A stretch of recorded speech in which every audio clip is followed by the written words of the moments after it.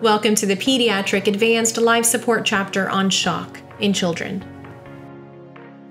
Shock is a serious condition that can be life threatening, and it occurs when there is inadequate blood flow and therefore an inadequate supply of oxygen in the body.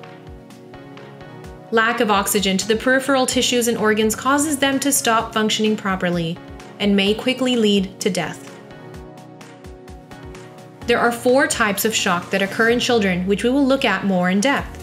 And these are hypovolemic shock, distributive shock, cardiogenic shock, and obstructive shock. The first type is hypovolemic shock, which is a dangerously low blood plasma volume, meaning a low oxygen carrying capacity. Hypovolemia is the most common cause of shock in children, and it's mainly due to fluid loss.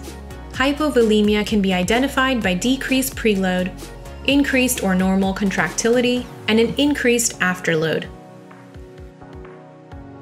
Hypovolemic shock can be caused by diarrhea, vomiting, decreased fluid consumption, osmotic diuresis, fluid accumulating in extracellular space known as third spacing, burns, or hemorrhages.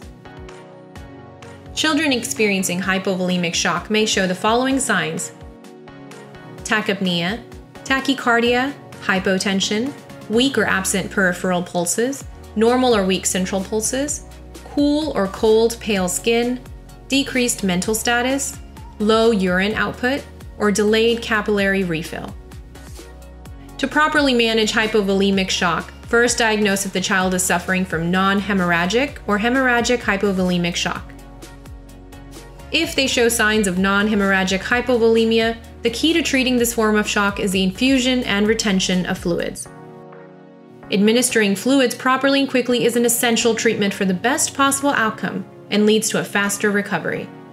To treat a child in non hemorrhagic hypovolemic shock, an infusion of 12 milligrams per kilograms bolus of isotonic crystalloid is effective, with up to three boluses administered if the patient does not improve. If the child shows signs of hemorrhagic hypovolemic shock, start with a fast infusion of isotonic crystalloid in boluses of 12 milligrams per kilograms and give up to three boluses for a total of 60 milligrams per kilograms. For every 1 milliliter of blood loss, it is important to supplement 3 milliliters of crystalloid in the initial treatment. If the patient remains unresponsive, then consider a transfusion of packed red blood cells in 10 milligrams per kilograms boluses. There are no pharmacological interventions that are effective for hemorrhagic or non hemorrhagic hypovolemic shock. So, treatment therapy includes fluid dosage, identifying the cause of blood volume loss, and correcting metabolic imbalance.